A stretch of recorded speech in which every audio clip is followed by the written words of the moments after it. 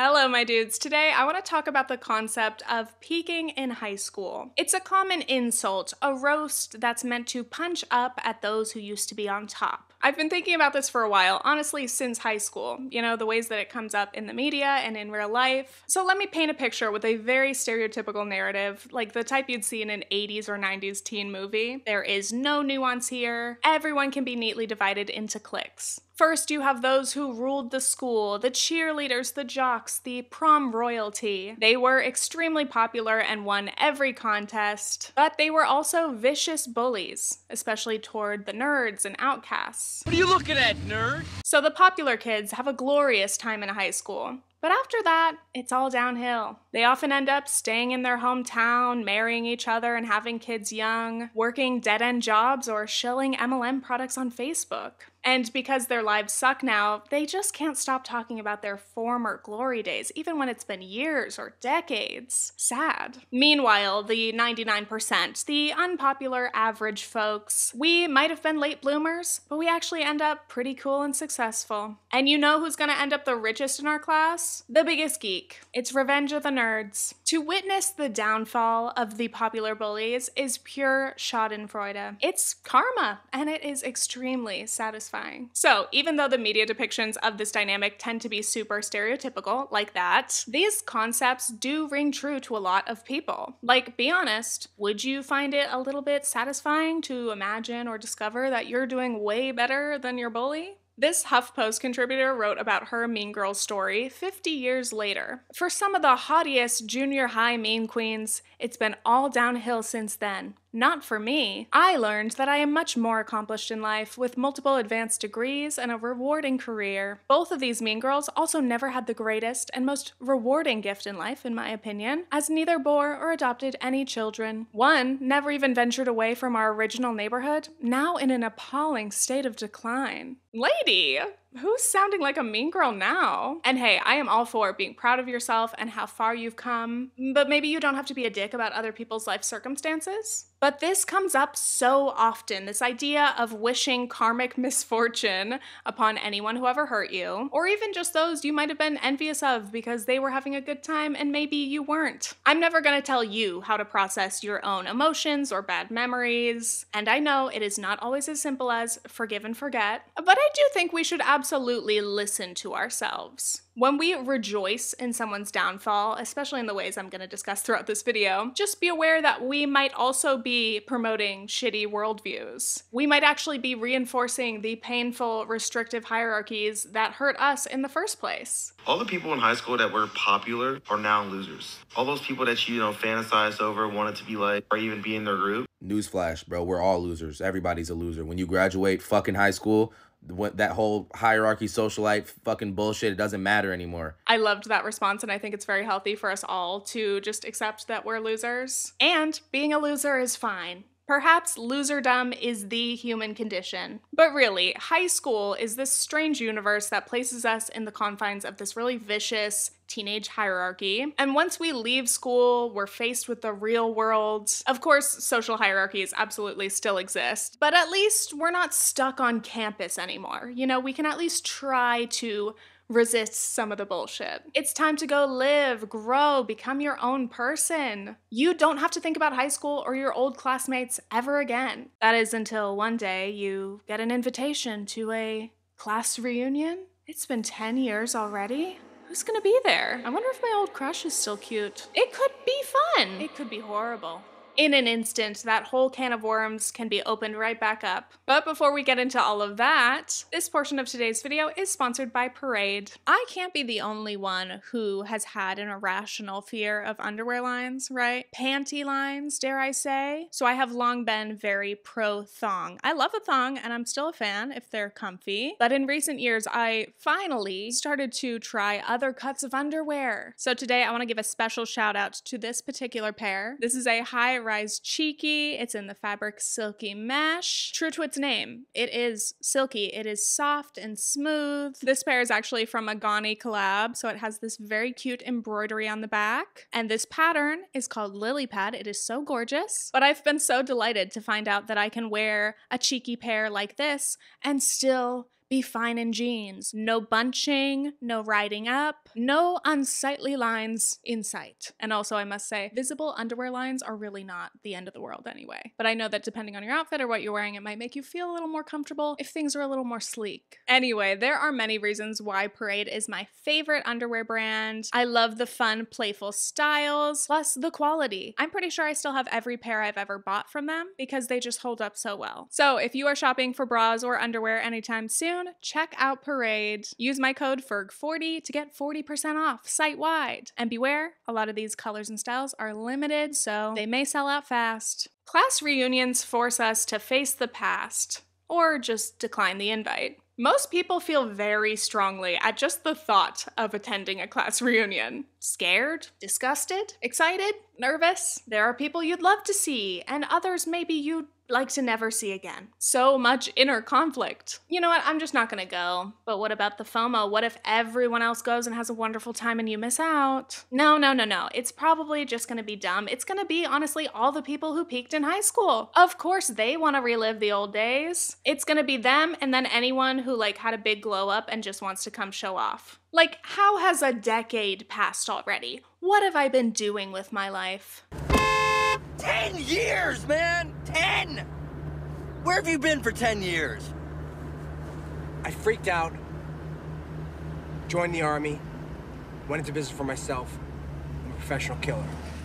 On one hand, a lot has changed since we were 17, 18, but this still feels too soon somehow. We're not even 30 yet. Like when you watch movies about high school reunions, it just seems like they're for old people. Maybe that's because all the actors were a lot older than they were playing, but still, it feels like we should all have houses and partners and impressive careers. And especially in this economic period, as we talk about all the time, where a lot of us millennials and Gen Z aren't necessarily reaching those expected milestones or it's taking us a lot longer, it can weigh very heavily on where we think we should be at this point. Overall, I think this kind of nostalgia, looking back on high school and everything you've done since, can trigger a bit of an existential crisis. There are so many paths you could have taken, so many what ifs in your life. Who you were, who you are now, the whole idea of like potential. So now I just want to be a little more casual, a little more chatty. Again, when I was thinking about this topic, it started with the idea of peaking in high school, haha, just laughing at the people that you know, go back to visit the school the year after they've graduated. hey guys, oh my god. this is so weird. I feel like naked without my backpack. This is so funny. What? What do you mean, what am I doing here? Or they keep coming to the football games. It's like, dude, you were on the team five years ago. Hey man, I really used to run this school, but I don't know, things are just so different now. You know that I was homecoming king? Everybody loved me here.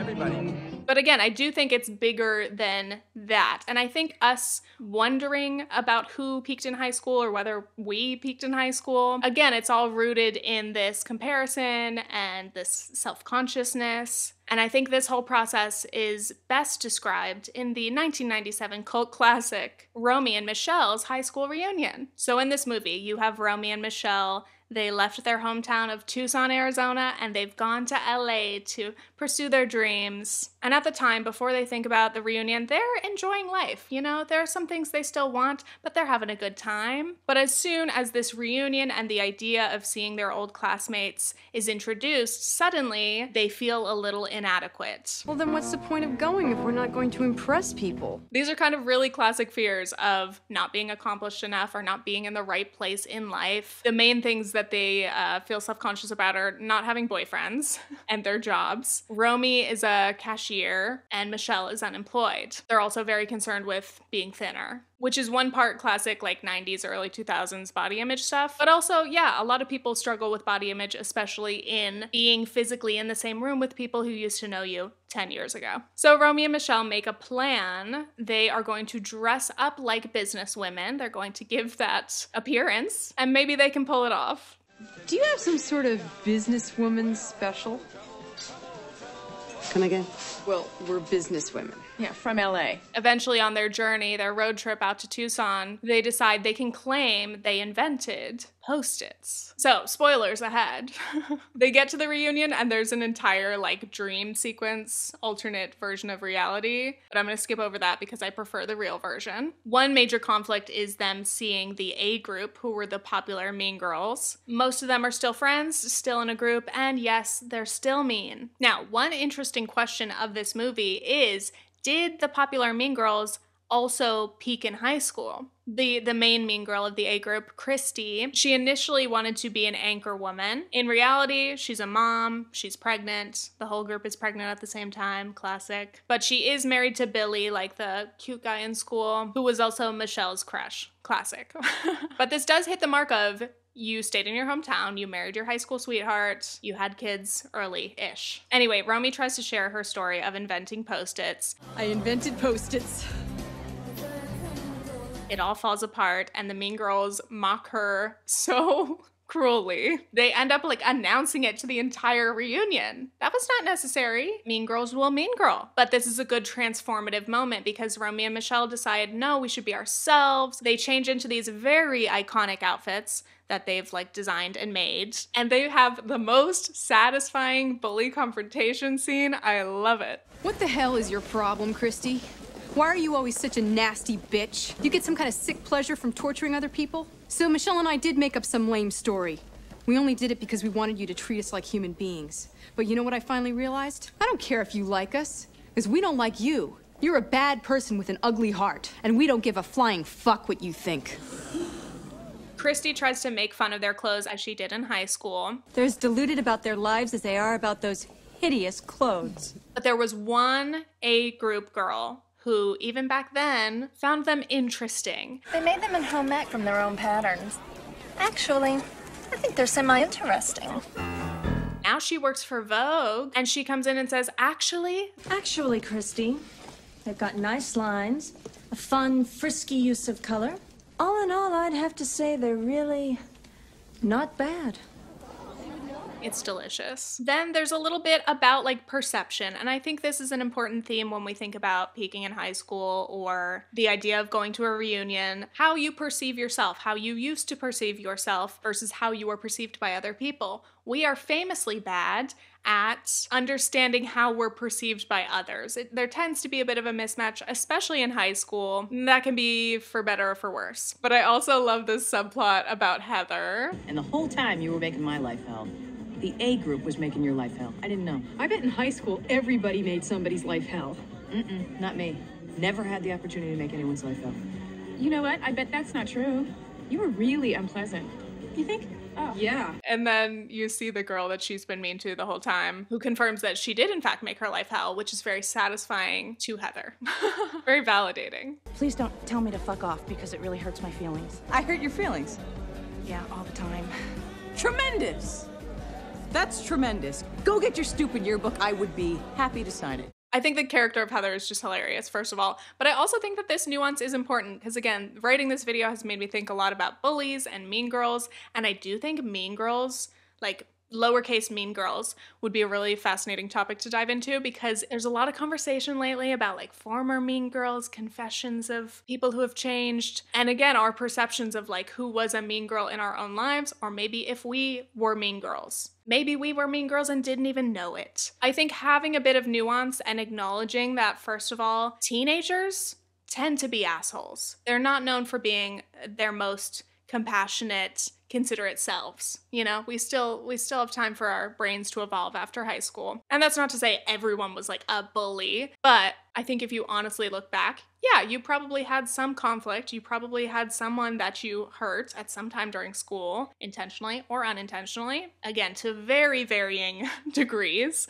Uh, but again i think that topic would be really interesting trying to dissect the mean girl. Anyway finally we get to the climax of the conclusion and the old nerd Sandy shows up, and guess what? Revenge of the Nerds, he is in fact the richest and most successful person from school. It's so over the top, but so good. And he's still in love with Michele. So you must be like the most successful person in our entire graduating class. Well, I guess that depends on how you define success. If to you, success means having a house in Aspen, one in Acapulco, Penthouse in New York, mansion in Malibu, a 60 foot yacht, an 8 seat Windstar, a Bell Jet Ranger, a Bentley, a personal trainer, a full time chef, a living masseuse, and a staff of 24, then yeah, I guess I am successful. I thought this point about how you define success was interesting, um, but obviously he's defining it in the traditional like wealth and impressive career kind of success. But I think that's a question that's also an important factor. Like, how do you define success? It can mean very different things to different people. But that can be hard to, again, get into the nuance of when you're having these little catch up chats at a reunion. Then there's this fantastic dance scene, one of my favorites. Overall, a very satisfying watch. And again, I just loved that. Obviously, this movie featured a lot of those tropes that I was looking for, but I do think it also has some of those true to real life questions and feelings that we may go through when reuniting with old peers. So let's rewind and go back to the idea of high school reunions in general. I will say, first of all, high school reunions class reunions have definitely changed and evolved, like the necessity of them has changed, especially since social media. Back in the day, many decades ago, like it was very possible to literally lose touch with people. You had no idea what anyone was up to, where they were. And so the idea of coming back together in one physical space was perhaps more enticing. There was a lot more mystery, a lot more intrigue. But with the advent of social media, it's so common for many of us to at least still be Facebook friends or following each other on Instagram or even LinkedIn. My God. You know what people have been up to. All of this has kind of lessened the need for and reduced the impact of class reunions. Jennifer Senior wrote Whether it's for vindication or validation, whether out of self punishment or self appeasement, many of us choose to devote a lot of time revisiting our high school years. Before Facebook, there was a real discontinuity between our high school selves and the rest of our lives. Social ties that would have gone dormant now remain accessible over time and all the time. So I do think that is one very valid factor in affecting whether you feel compelled to go to a class reunion or not. We don't really need to reconnect if we never actually lost touch. So now I want to rewind again back to kind of the tropes about those who peaked in high school because I want to dig in a little bit deeper. As I mentioned in the beginning, I think that sometimes the ways that we dig at people who peaked in high school or people who hurt us can be a bit of a harmful shitty response. And as much as we think it's like dunking on them, it's really just like buying into some classist and otherwise shitty beliefs, you know? So let's talk about like some of these tropes or common ideas. I tried to look up on like Reddit where did the popular kids end up or where did your high school bully end up? Here's one comment. My high school reunion very much cemented in my mind that the popular crowd were the ones who peaked in high school. None of them left town, they all married each other, and they are all still friends, acting like they were still the popular kids despite the balding heads and flabby waistlines. None of them ever moved on in life and were more than happy to live a perpetual high school existence of mediocrity.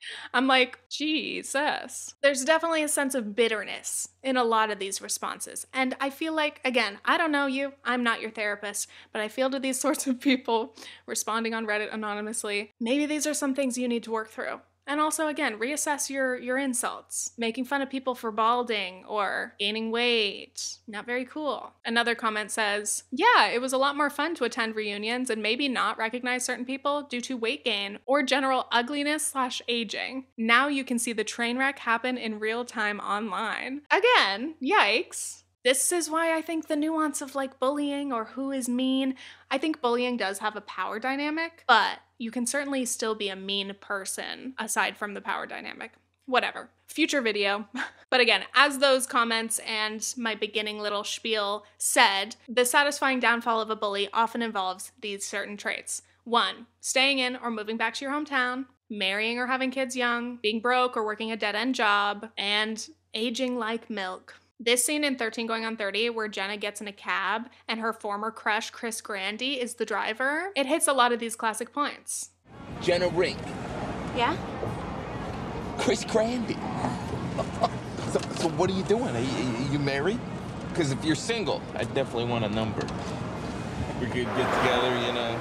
I'm still living at home. Well, not still. Come on, Grandy. He's working what is presented as an unimpressive job. Check. Still living at home. Check. He references when they used to date and assumes that she would still want his number. Living in the past. Check. And yes, he's presented as looking unattractive or not looking like he did when he was younger. We see this trope all the time. Another example that I can think of is Johnny Lawrence, the villain from the Karate Kid movies. I love the show Cobra Kai. It's kind of a guilty pleasure of mine. It is just, it is wild.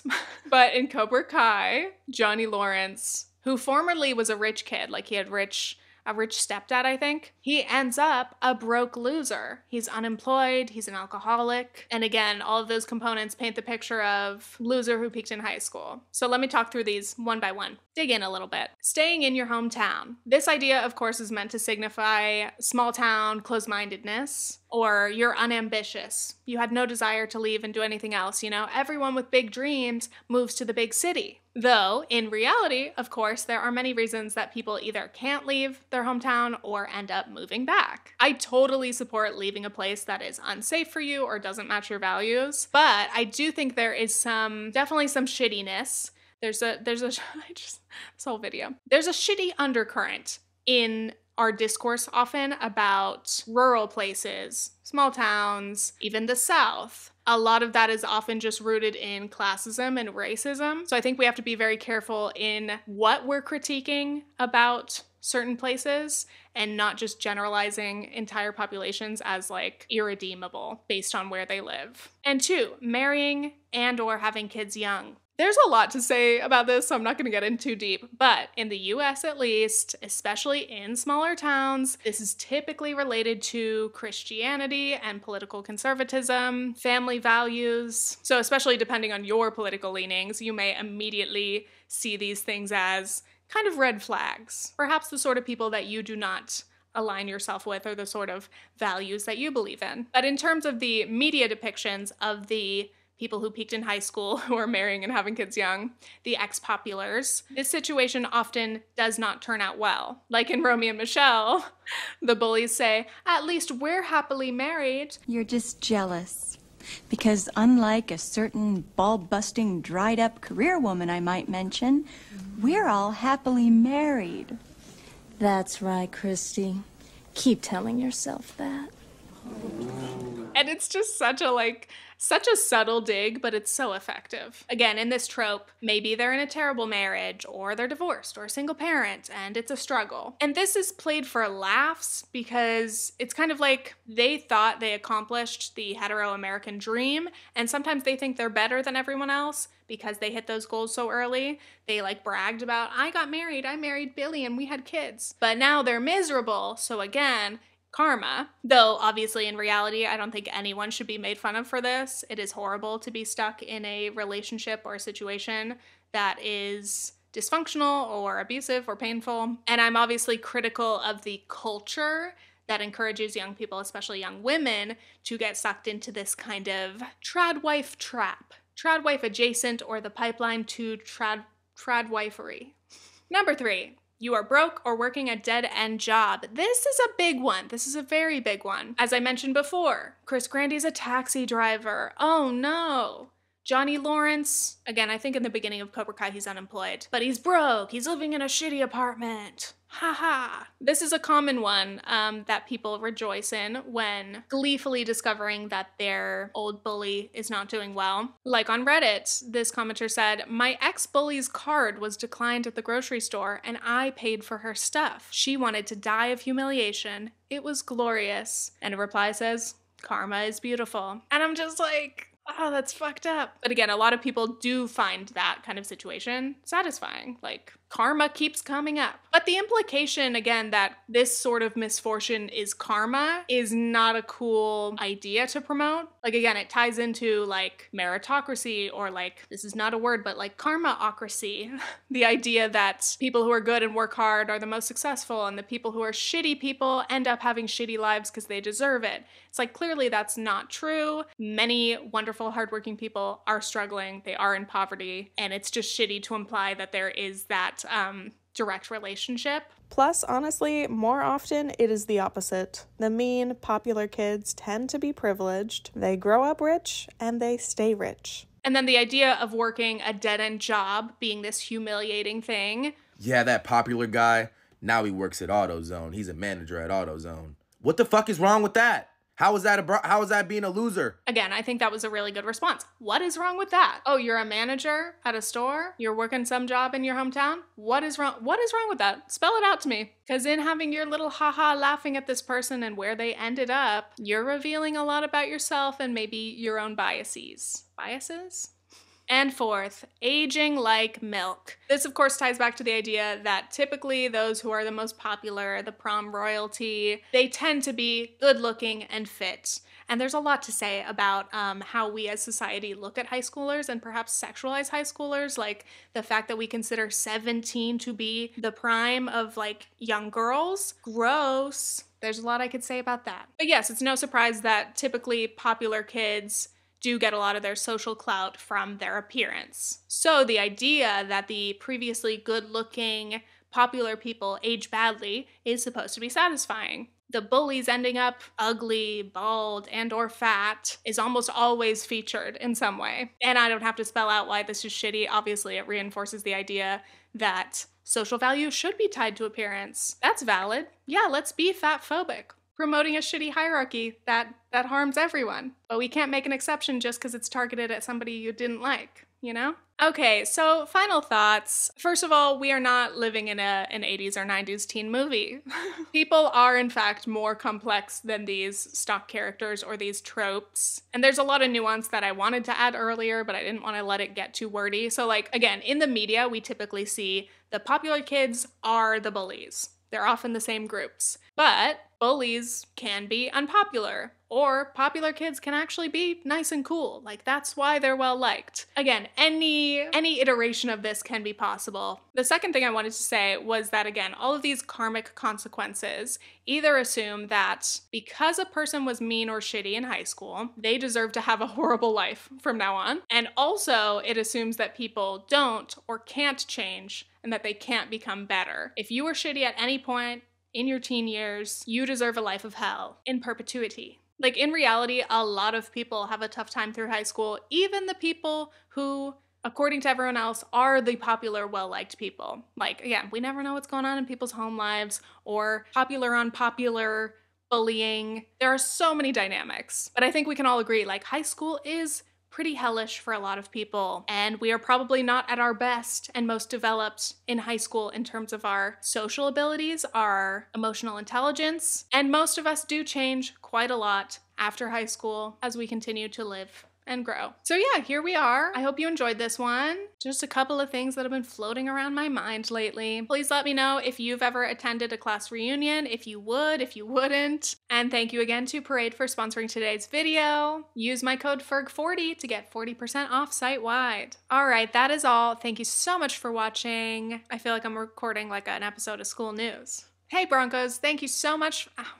Just get out there and We'll see you tomorrow for more announcements. The bit's not working. Okay, thanks. Bye.